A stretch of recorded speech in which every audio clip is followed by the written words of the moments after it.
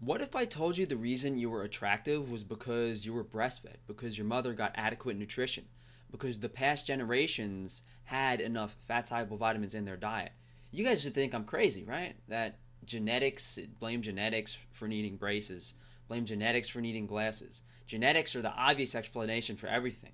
The reason you got cancer is because of genetics. Well, when we look a little deeper, you know, even just a few hundred years ago at indigenous groups of peoples that didn't have these problems, it becomes very obvious that modern diets and lack of vitamins in the diet are definitely a leading cause of these problems. Weston Price was a dentist in the early 1900s who went around studying all these indigenous groups because he was so curious why they did not get cavities. And back then, cavities were almost like a death sentence because you'd get an infection, you get an abscess, it'd be pretty much the most painful thing in the world, and the teeth would literally try to leave uh, your body through the, the lower jaw. It's uh, pretty. It was a very painful thing that people would literally kill themselves over in the past. So modern cavities versus back then, very different thing, guys.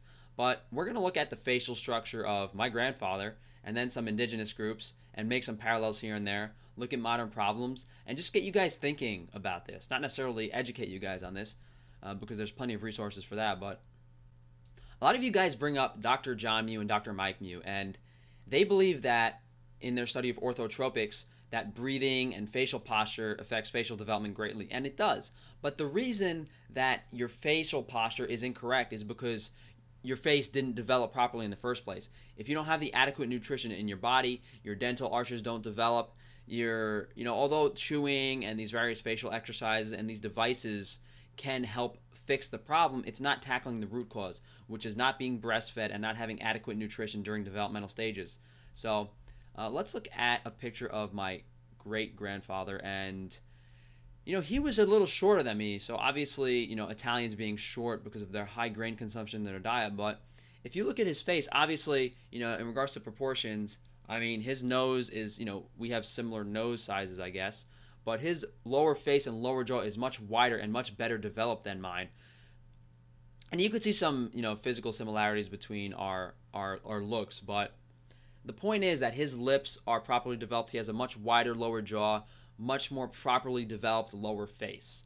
And this is going to become more evident, you know, in me, I have a much narrower face than him, and you're going to see in indigenous peoples have even wider faces than my grandfather. So, you guys saying this is genetic, well, over the course of the past you know few hundred years our faces have been becoming narrower and narrower and even more drastic over the past few generations because of just the super drastic change in our diet you know? Switching from you know 60 to 70% animal foods to 20 to 30% with grains did this and then the modern diet of now of what 11 to 14% protein is causing these severe facial problems from receding chins you know, narrowing of the jaw, these crazy, crazy, you know, facial development problems that people are having. Uh, and then if we look at Native Americans that have much wider jaw structures, just, uh, you know, not similar to my grandfather, but, you know, just in a sense that they're wider than mine and much more physically developed than mine. Uh, this is present in every indigenous group, and this is how humans are supposed to develop. You know, the Dinka tribes people uh, have proper lip, proper lower jaw, proper facial symmetry and development. And here's an example of a tribe person who was off that diet. You know, you start seeing the modern problems that we have now, from various malocclusions to crooked teeth. Uh, here's another example of indigenous uh, Sea Islanders, I believe. You could tell, you know, physical impressiveness. They all have similar facial structures in regards to the width of their face. Margot Robbie is an example of a modern version of someone with, you know, fairly proper facial development, although, you know, not nearly as wide or as physically developed as indigenous people, you know, in regards to symmetry, you know, her face is like a smaller version of that. You know, it's symmetrical. Emily Ratajkowski, modern example. Uh, and then here, just I just have some examples of models and people that are viewed as attractive, and you know, we can relate similar features. You know, although if we look at this girl and compare her to I don't know this girl, like here we have Sara Sampaio, who has a very well developed lips and lower jaw, but then this girl is like, oh, well, her lips are way more developed than hers. Obviously, there's different degrees of physical development we can see, and the only thing we can really relate those to is diet. And here's something interesting here's an Italian model, and here is a Russian model, and you know it's you know obviously the they're very physically attractive, they're beautiful, and most people would maybe even consider the Italian girl more traditionally attractive. But we notice that there is you know the Italian girl has less developed lips than the Russian girl, who most likely had more animal foods in their diet. You know, it's definitely an interesting comparison to make. Uh, here's another example of a modern girl. Uh, I think there's some more pictures here. This was Weston Price's research of, you know, people with optimal face and physical development versus, you know, one generation on modern foods. You know, they start getting problems. You know, here's an example of more people with proper facial development and uh, just some really interesting things. Now, if we look at, you know, what this actually meant, you know, this guy's about to, I'll, I'll show you. Can everyone do that? You know? But that's literally what every indigenous person would have technically been able to do with that level of teeth development. And here's a, a modern example of Hailey Baldwin opening beer bottles with her teeth. Boat, and we didn't have a bottle opener, mm-hmm. and I didn't want everybody to not have fun, so I was like, oh, you know what? Let me just try something. And I cracked it open with my tooth. 16 of them Very wide lower face, properly developed teeth. And then here was just another interesting example. Uh, you know, they compared the indigenous people's eyesight to binoculars.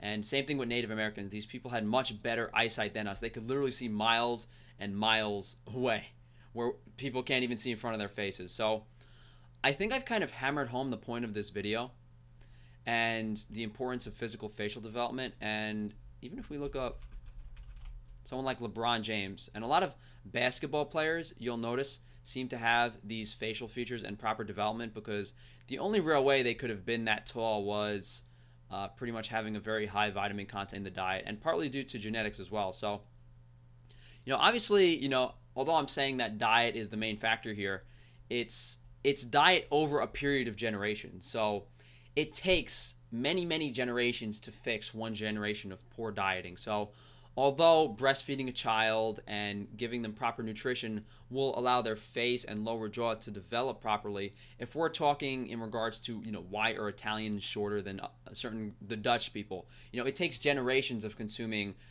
a high animal food diet to increase the average height. Now, I mean, if you took two Italian people and put their child on a Dutch person's diet, would that increase their height? I don't know. That that experiment has never been done, but I know that there is a significant importance in fat soluble vitamins in breastfeeding.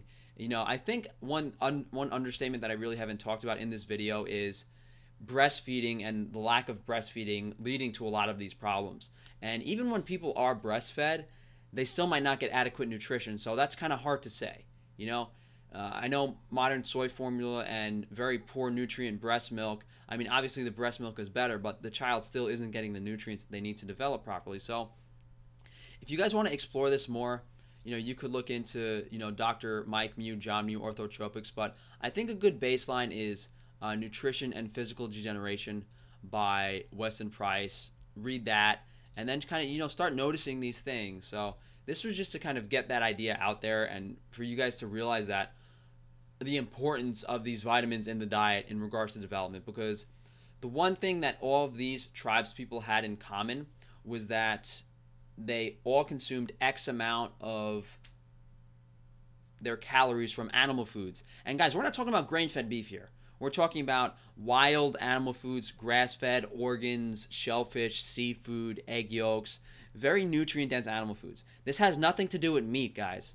If it, and what really bothered me was Dr. Shawn Baker said that oh, look at the Eskimos. And he goes and eats five grain fed ribeyes a day. Like, dude, you are completely, that is a ridiculous, is that not a ridiculous thing to say? To say, oh, we have, I have good physical development because I'm eating grain fed ribeye when the Eskimos, please, that, w- that was just completely ridiculous. I just had to, I think I had to throw that in there for some of you guys that are going to start saying that. So, thank you guys for watching. If you guys would like to support my channel, uh, please just share the video.